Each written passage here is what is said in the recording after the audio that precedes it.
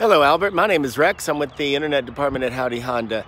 I just wanted to introduce myself and show you the 2020 Insight Touring. We actually do have one left. This one's gray with the uh, black interior. I'm just going to give you a quick visual tour.